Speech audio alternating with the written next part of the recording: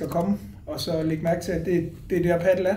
2018 blev det spillet på tid i Tåsinge Tennis- og Paddelklub, og øh, nu står vi med et arrangement som det her. Det, er, det siger noget om, hvordan vi udvikler øh, sporten hele tiden. Jeg tænker, vi bruger lige de første 10 minutter her til lige at få koordineret. Det er det, der er i for. Vi laver sådan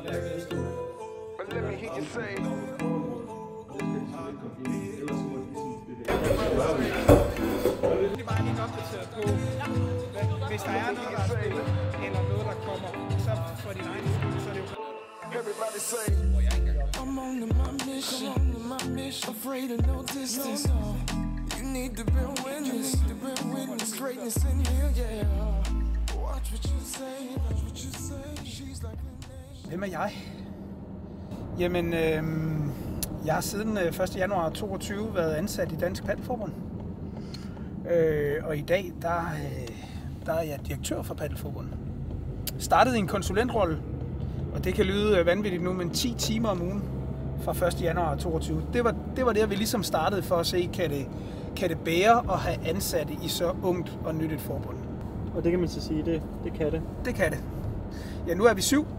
Seks på fuld tid, og øh, Alex Laugesen, som øh, tager sig af uddannelse og klubudvikling øh, på 16 timer om ugen. Og jeg har da en forventning om, at vi øh, inden udgangen af 24, så er vi i hvert fald blevet et par stykker mere. Jamen lige nu er vi øh, på vej til øh, Racket Club Tostrup. Forbundets sponsorer er blevet inviteret til sådan et pre-DM sponsorarrangement, hvor de skal ud og, og spille et par timer, møde hinanden, hygge sig med lidt paddel. Og så skal vi alle sammen jo så retur til øh, Paddle Paddle i Brøndby, hvor vi kl. 17 øh, sparker gang i, øh, i 24-udgaven af DM. Øh, og vi kunne ikke rigtig få paddle med ind i programmet ude på selve venue, så derfor så er vi nødt til at bruge et andet venue end, end selve DM-venue. Men det ligger heldigvis relativt tæt på hinanden. Og du skal også spille i aften. Jeg skal selv spille i DM, ja, øh, og spiller 18.30, så det, det skal jeg også lige finde tid til at, øh, at gøre mig klar til. Men øh, det er klart, sådan et DM, der er der rigtig mange øh, praktiske ting, og på dag 1 er der en masse koordinering, både internt hos os, men også øh, med Paddle Paddle, som er arrangør, eller er vært øh, for DM. Just leave the window open and let her light through. She's dark as Coca-Cola, but somehow bright too. She's under no controller and does what she likes to. It's like your soul is open when she says she likes you.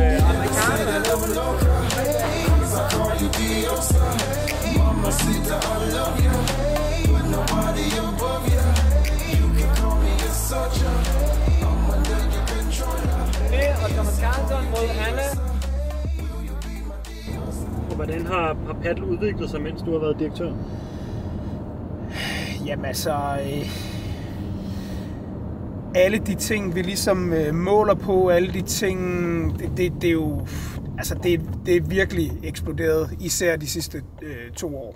Øh, både perioden under corona og i særdeleshed lige efter corona, jamen der er både antallet af baner, antallet af øh, licensspillere, antallet af turneringer, det er jo bare eksploderet. Øh, så, så det er også derfor, jeg siger, at det, det, er lidt, det er lidt sjovt at tænke på, at, at vi startede forsigtigt med 10 timer om ugen som konsulent. Ikke? Og, øh, og nu er vi så ved at bygge et, øh, et, øh, et ret stort øh, sekretariat op, og det, det har jeg da en forventning om, at det, det, vil, det vil fortsætte ind i de kommende år.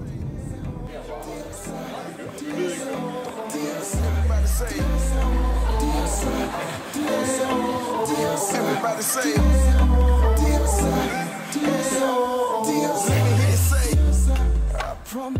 Så nu er jeg lige tjekket ind her i Idrættens Hus, øh, hvor jeg skal holde til indtil på søndag.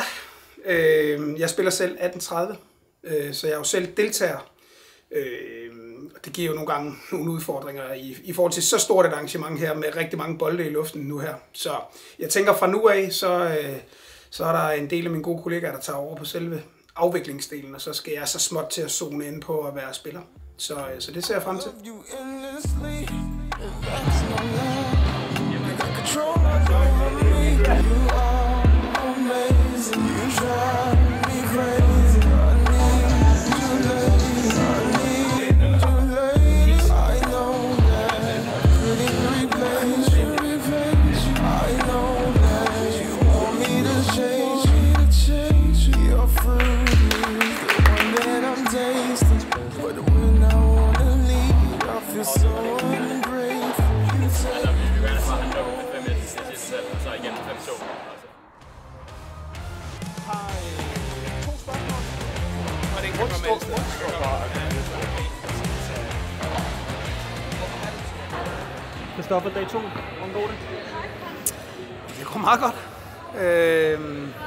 Cirka en halv time, tre kvarter, så er det centerkort.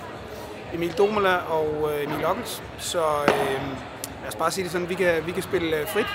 Øh, de er kæmpe favoritter, men øh, vi har tænkt os at prøve at se, om vi kan drille dem lidt. Hvordan, øh, hvordan gik dag 1? Stemningsmæssigt og det hele?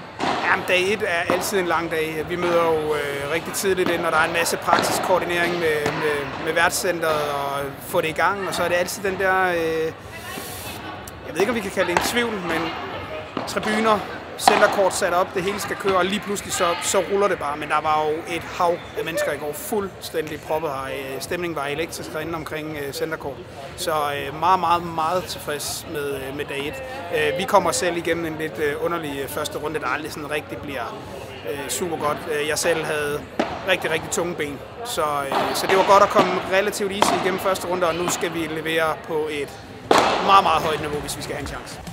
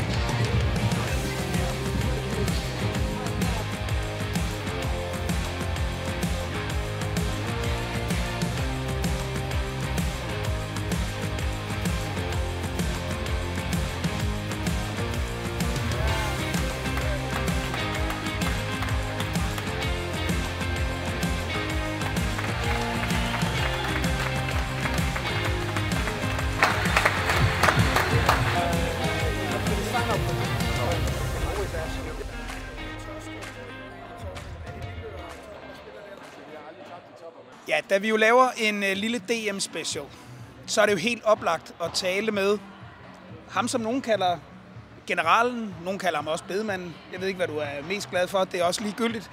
Men øh, en, der har deltaget i rigtig mange DM'er, og faktisk også vundet en håndfuld af dem. Esben Hess. Øh, jeg deltog i mit første DM i 2019 i Slagelse. Det gjorde du også. Jeg nåede ikke så langt, du vandt vi mødte hinanden. vi mødte hinanden i kvartfinalen, faktisk. Ja, det var ikke så sjovt, husker jeg.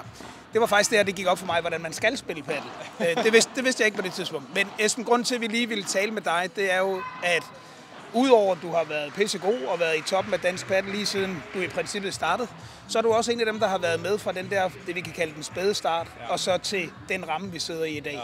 Men hvis, hvis vi lige skulle starte med det helt oplagte spørgsmål, når vi nu har dig. Øh, fem gange dansk mester siden 19, og så har du, så har du ryddet bordet siden. Øhm, hvad går man så ind med til det her DM24 med, med fem titler i, øh, i bagagen? Det er jo klart, at øh, DM det er altid noget specielt. Altså for Niels og jeg, som, øh, som spiller kun på den nationale øh, scene, så er det jo så er det, det, der betyder mest for os selvfølgelig. Og det er klart, at øh, man tænker jo tilbage på øh, de sidste DM'er, man, øh, samtidig er man også, øh, har man også med i tankerne, hvor meget der er sket, og hvor mange gode spillere, der er kommet i mellemtiden. Øh, men altså, vores forhåbning og forventning er, at, vi, at øh, jeg tager nummer 6. Øh, men altså, der bliver hård konkurrence om det, øh, men vi er klar. Så.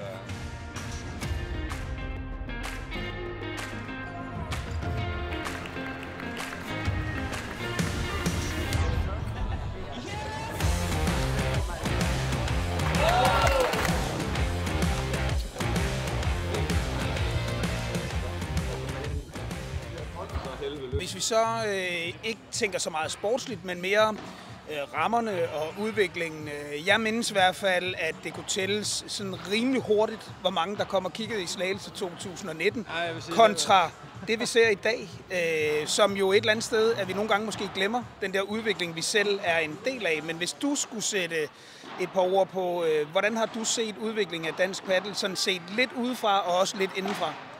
Jamen, jeg synes egentlig, at konstant hvert år kigger man tilbage og siger, hold da op, der er sket meget de sidste 12 måneder. Øh, altså i Slagelse i 2019, som du siger, det var jo, altså, der kunne nærmest ikke trækkes nogen tilskuere derud. Jeg tror, max der var 10-12 stykker til finalen, ikke? Altså, og det var også helt vildt at tænke på. Øh, allerede det følgende år skete der ret meget, men jeg synes, at det blev løftet hvert år. Ikke? Jeg synes, øh, Parkhus sidste år satte en, på en eller anden måde en fed standard for, at det, det er sådan her, det, øh, vi skal gøre sammen med Dansk Paddelforbund i forhold til, hvordan skal sådan et arrangement skrues sammen. Og jeg ved, at Paddle Paddle har, sammen med jer har lagt mega meget arbejde i at, at gøre det her så professionelt som muligt, og indtil videre, øh, så, så spiller det bare. Øhm, så det er, Altså, jeg tror, jeg har sagt det mange gange før, og det, det, det er sådan lidt kliché, alle siger, ej, hvor er der sket meget, men der er bare...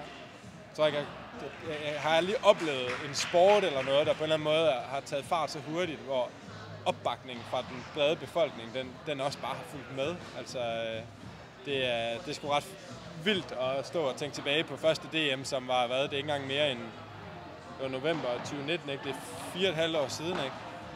Shit, man, var, man bare, var der sket meget, ikke? Hvis jeg nu fortæller dig, at det første officielle DM under Dansk Paddelforbund, det blev afviklet i 2018, altså Ja. året før du Ja. vinder, Ja. hvor der er otte par fordelt på to puljer, Ja, der i Tåsinge Tennis og Paddelklub spiller på tid i puljerne 15 minutter. Det var, det var puljekampen, Var og det finalen var et fuldt sæt. Hvor, er det rigtigt? ja, hvad, hvad, hvad, hvad tænker du så, når du kigger rundt her, hvor der er propfyldt og der er smæk på? Jamen, man kan sige, folk har skulle lære sporten at kende, ikke? Altså, øh, for nogle er det naturligt, men for folk, der måske ikke nødvendigvis har haft med elitesport at gøre før, så er det ikke sikkert, at man lige ved, hvad, hvad er de normale rammer og så videre. Men jeg sige, der bør være en standard for, hvad, hvad man gør til DM, ikke? Øh, det er vi heldigvis kommet efter allerede fra 2019, ikke? Men, øh, men det er klart, at fordi det var så mange frivillige kræfter i starten, så har det jo også været nogle små skridt, man har taget hele tiden. Og man har snakket sammen og, og lært, at jeg var også selv lidt med og snakkede meget med Dansk Paddelforbund der i starten. Det var så primært i forhold til landsholdssamlinger. Hvad, hvad er det for noget? Er der overhovedet noget EM og VM? Og sådan, hvordan skal det hele hænge sammen? Og jeg synes, nu er der jo kommet en helt klar struktur, ikke? Øh, og det, så det, det er jo lækkert som spiller, at man ikke, man skal ikke, øh, man skal ikke tænke så meget på noget andet end at spille nu. Altså, man ved, at der er styr på det, og det, øh, det giver en ro, når man skal på banen. Men øh, vi følger spændt med og ser om titel nummer 6 øh, lander nede i lommen. Nu er det først og fremmest kvartfinale, Ja. 17.30 i dag. Så yes. herfra, øh, god match og held og lykke. Tak, Stoffer.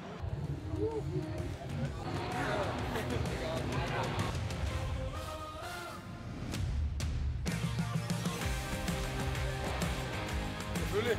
Selvfølgelig. Jamen, øh, vi har haft øh, endnu en dag med øh, masser af mennesker. Øh, rigtig fede kampe. Det er klart, når vi rammer anden dagens afslutning, så er det jo kvartfinaler. Og det vil sige, at niveauet kommer op på aller, aller øverste hylde, så øh, publikum er blevet øh, forkælet. Øh, ja, så har vi lukket anden dagen ned.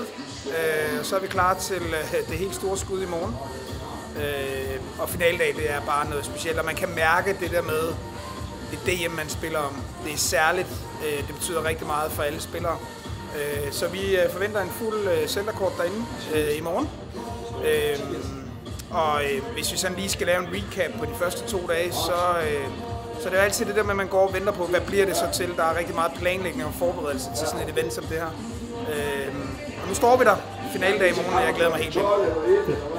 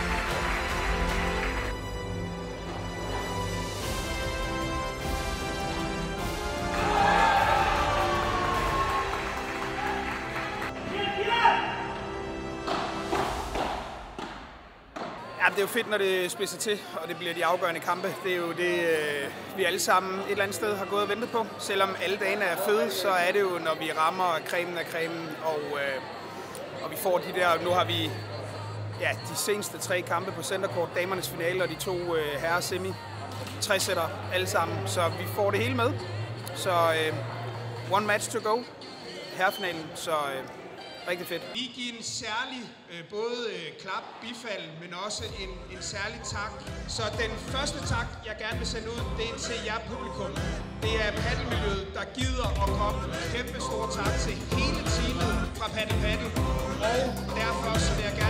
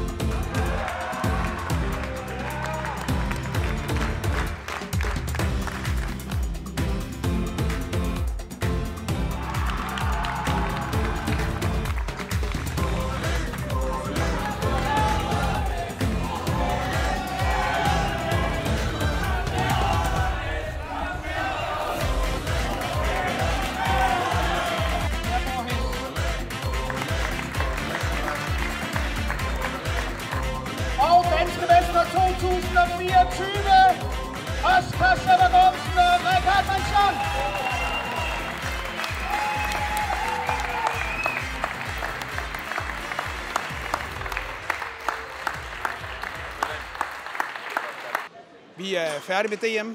Det er lidt surrealistisk. Øh, noget, vi har, vi har arbejdet rigtig hårdt hen imod, skulle blive et fedt event. Øh, det synes jeg, vi er lykkes med i fællesskab med alle dem, der har været en del af det. Øh, altså tilskuere, paddle paddle og hvem der nu ellers har været inde over. Men ja, jeg ved ikke engang, hvad klokken er. Det er i hvert fald sent, og der har været rigtig meget paddle. Ja, så nu står den på klassiske oprydning og alt det, der også følger med det at lave events som det her. Og så skal vi ellers bare hjem og sove lidt.